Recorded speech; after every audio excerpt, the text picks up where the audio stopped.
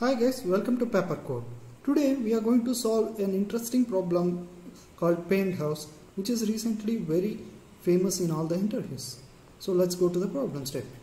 So there are n rows of houses we need to paint with red, blue, green. Cost of each painting is different. We have to paint all the houses such that no two adjacent houses have the same color. Minimum Ultimately we need to find out the minimum price to paint all the houses. So let us have a look of an example. So here we have one, two, three houses and we have three colors red, blue, green. So these are the different prices to paint each house. So let us take the paint to house of house number one. If you see one is the minimum uh, one which we can take it. So one plus in second one we can't paint it with green so we have to go with red or blue which is 7 is the minimum so we'll go with 7 the third one we are going with 4 since we can paint with red or green but since 4 is the minimum we are going with 4 we are going with 12 so is there any other way where we can get the minimum? If you see we can take 2 and 6 which is giving the same cost. So ultimately 12 is our minimum price. But every time we shouldn't choose the minimum one which is present in that particular house because let us have a look of another example if you see this example, if you choose 2 in the first house, we can't choose 2 in the second house, which will increase our cost. For example, here if you choose first house 2, then you can't choose here because blue and blue are adjacent. So you need to choose 500 or 600. Ultimately, we will choose 500 plus we will choose 3, which will become 5 not 5, which is too high. Instead, we can take it 17, 2 and then 100 which will reduce less than 500 right? So let us put this through code. Okay let's go to the code. Today we are going to solve this problem using dynamic programming. Okay uh, uh, before going through the code I want to tell you how this logic gonna work. So since we are, we are going to look back and then uh, manipulate the same matrix at the end we will find out the minimum price. Since we are looking back let's start with the second house which is index 1 so if you assume we are going to paint with this color, so obviously it is not painted with this. So we have to take minimum one of these two, which is 2. So we are going to add 2 to the 1.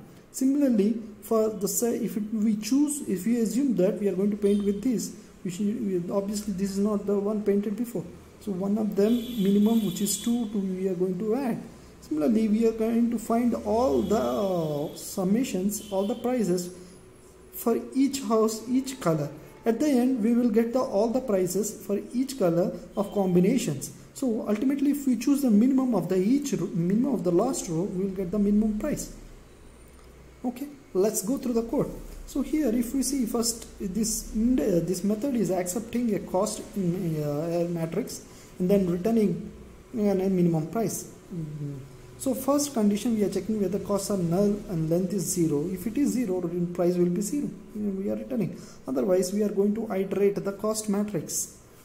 So here let us see we are starting with 1 since as we uh, already told you we are going to look back. So if we take the 1 so if we are going to paint with the first one which is 0th one obviously the before one should be one of these two minimum of these two. So we are going to take minimum of 1 and 2. Similarly, if we are going for 1, we are going to take minimum of 0 and 2. For example, this one, we are going to take minimum of 3 or 2. Similarly, if it is 2, we are going to take minimum of 0 and 1. After each iteration, I will, tell, I will show you how this matrix to look. For example, after first iteration, this matrix is going to look like this. 3, 6, 2, since we are not changing the first row. Second row, we are going to change 1 plus minimum 1 of 6 plus uh, 6 or 2 minimum is 2 1 plus 2 is 3 and then 9 plus minimum of 3 or 2 2 is minimum 9 plus 2 11 and then 15 plus minimum of 3 or 6 53 is minimum it's going to be 18 so last row remains as it is after the one iteration. Next since this is the last iteration 3 6 uh, let me write it in some other place. 3 6 2 3 11 18 so 6 plus minimum of 3 or 11 6 3 is minimum going to be 9 2 plus 3 or 11 is uh, 2 plus 3 or 18 minimum 3 is a minimum. So 2 plus 3 5 and then 8 8 minimum of 3 or 11 3 is minimum. 8 plus 3 11 so minimum of these three would be 5 so our answer is 5 so if you see if we choose